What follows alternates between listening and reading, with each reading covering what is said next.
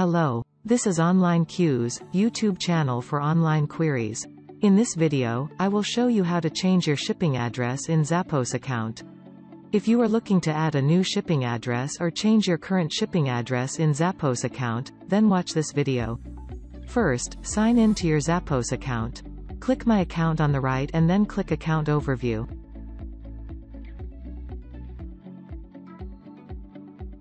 Now click Manage My Addresses. From here, you can add a new address or you can delete or edit your current address. Click on Edit to change your delivery address.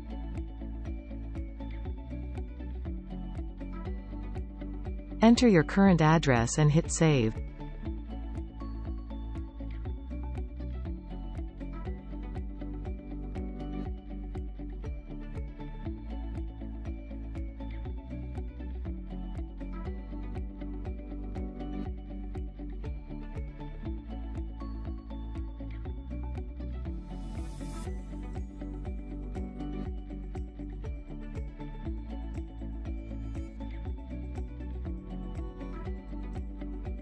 Go back to shipping information and hit refresh.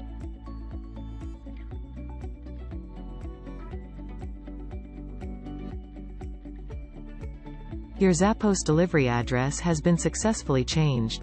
Thanks for watching. Please like and subscribe.